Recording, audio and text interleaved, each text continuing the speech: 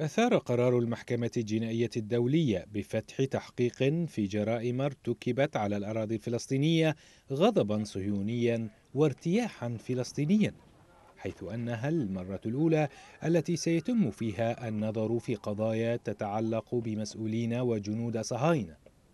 القرار أعلنته المدعية العامة للمحكمة الجنائية الدولية فاتو بن سودا التي قالت إنها فتحت تحقيقا رسميا في جرائم مفترضة في الأراضي الفلسطينية المحتلة في خطوة يعارضها الاحتلال الصهيوني بشدة.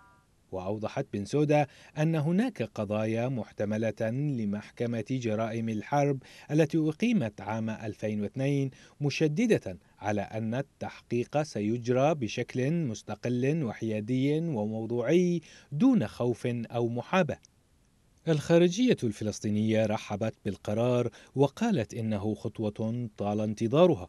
تخدم مسعى فلسطين لتحقيق العدالة والمساءلة كأساسات للسلام.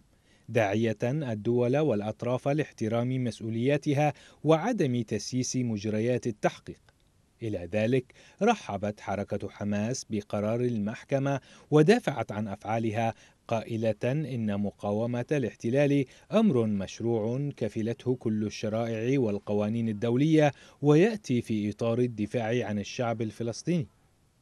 من جهته اعتبر رئيس حكومة الاحتلال بنيامين نتنياهو قرار الجنائية الدولية عداء صرفا للسامية مبنيا على جرائم كاذبة أما وزير خارجية الاحتلال جابي أشكنازي فرفض قرار المحكمة واصفا إياه بأنه إفلاس أخلاقي وقانوني. هذه الردود والاتهامات والتوصيفات التي أغدقها مسؤولو سلطات الاحتلال على القرار لم تكن مفاجئة. لأن واقع الحال أن قرار فتح التحقيق يطال عمليا من هم على رأس الهرم في الكيان الصهيوني بدءا من نتنياهو الذي كان رئيسا للحكومة خلال الأحداث التي تحقق فيها المحكمة مرورا بالجنرال بيني جانتس الذي كان رئيسا للأركان وصولا إلى مئات الجنود في أسلحة المدفعية والمشاة.